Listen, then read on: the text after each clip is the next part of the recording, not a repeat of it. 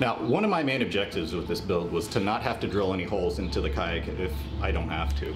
Uh, I was able to accomplish that for the most part with the exception of one tiny hole that I had to drill right here, but I'll get to that here in a little bit.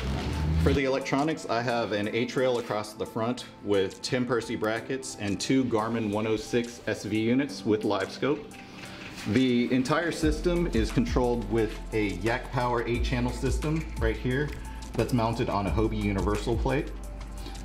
All the wiring goes into the hole through these one objective rod holder delete plates and Yak Attack through hole plugs. The entire system, as far as navigation lights, live scope, graphs, camera, my phone, are all powered with this Z Pro 50 amp battery. Uh, for my seat, I have two kayak cushions with a Burley Pro side bro that I keep my phone in. And for storage, I have this Yak Gadget six box storage system called six 3700 boxes.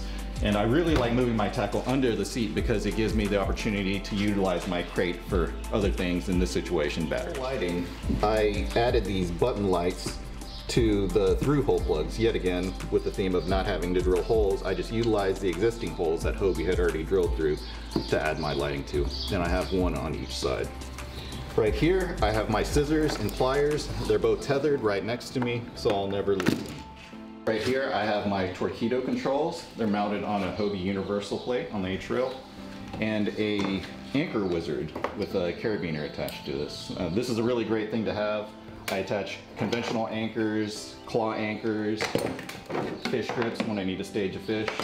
This thing really comes in handy. For my crate, I have a Yak Attack BlackPak Pro. This is the 13 by 13 model. It holds eight rods and primary use is to keep all my batteries. Inside I have my Torqeedo battery, my Z Pro 50 amp battery that controls the trolling motor, and a two bank charger. All of the wiring for this goes through this conduit right here into the transducer hole so I didn't have to drill any additional holes into the kayak. On the back I have a boat port that I have a YOLOtek, YOLOtek Navlite power stick attached to.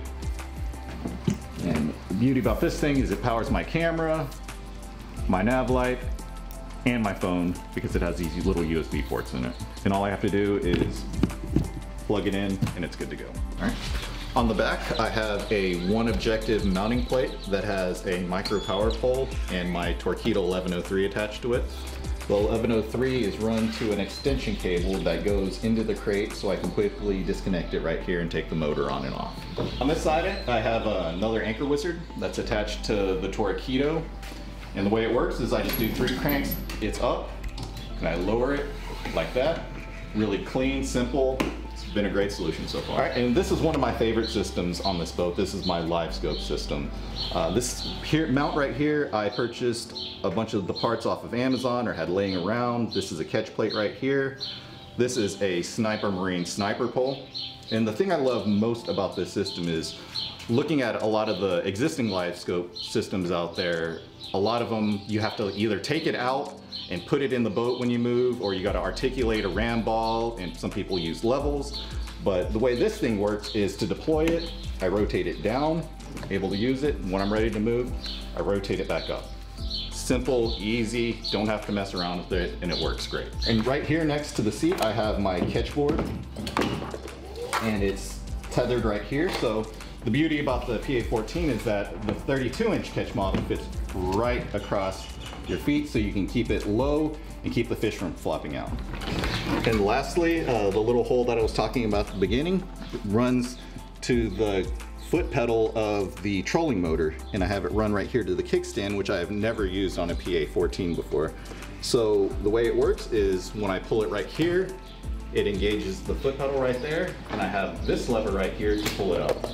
So everything really easy and seamless.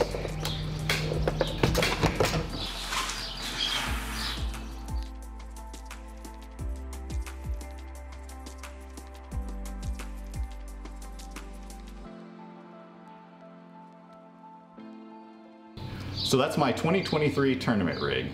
Uh, if you have any questions, feel free to reach out to me on my socials, Nathan Chanyarlak at Facebook or Instagram. I hope you found this video helpful and thanks for watching.